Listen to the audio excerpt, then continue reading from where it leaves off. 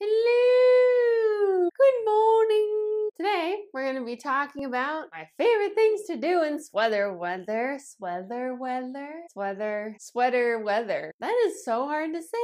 You don't even know. I dare you say it three times fast. Weather, weather, sweater whatever. The tea I selected for today is a super awesome one, and I'm so excited about it. It is a seasonal tea. Cannot find it in stores year round. The first year I bought it, when I discovered that, and I went into Trader Joe's to buy more, I was devastated. So the next year, when I found it again, I bought 10 boxes, and it lasted me a whole year. Messed up, you say? Money not well spent, you say? Well, I beg to differ.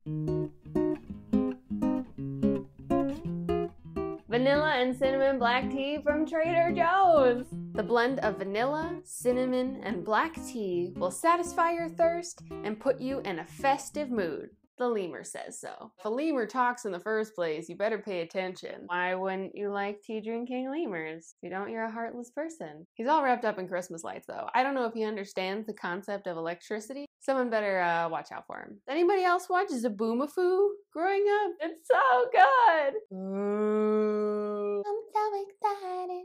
I know, I know, I know, I know, I know, I want you.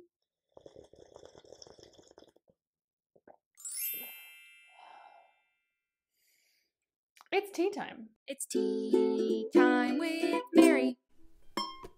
Okay, so sweater weather. I said it right that time. Ooh. Different tips for survival when it is sweater weather. So, someone who went to school in the icy tundra, I didn't actually go to school in the tundra, but it would snow like three feet. There's nothing like layering up. Layers.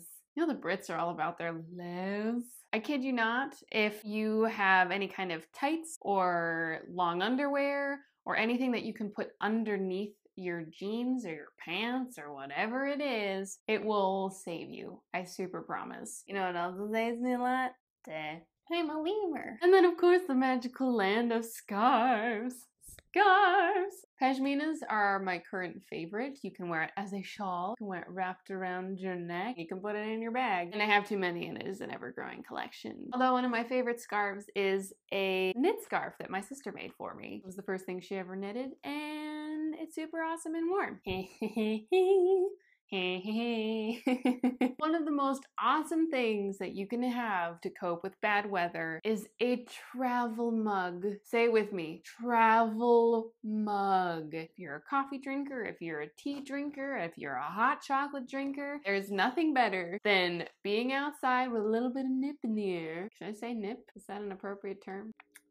Having something not only warm to drink, but warm for your hands. It's a lifesaver. We should all take advice from lemurs more often. Well, that's good. So even if you're not in a super cold climate, you can still apply these rules is that you probably don't have to wear a parka. I feel like being in Southern California in the winter is like winter in the movies. Sometimes when it is like 40 degrees, I will still wear my winter coat because I have acclimated to the climate much faster than I thought. The magic of La La Land.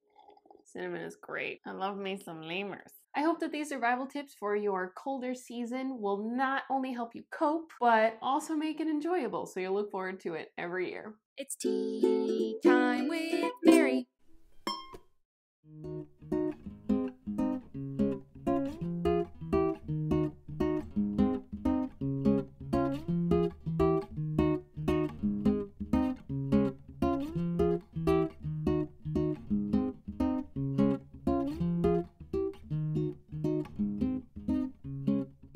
It was so simple. It's complicated. Why do you talk like that?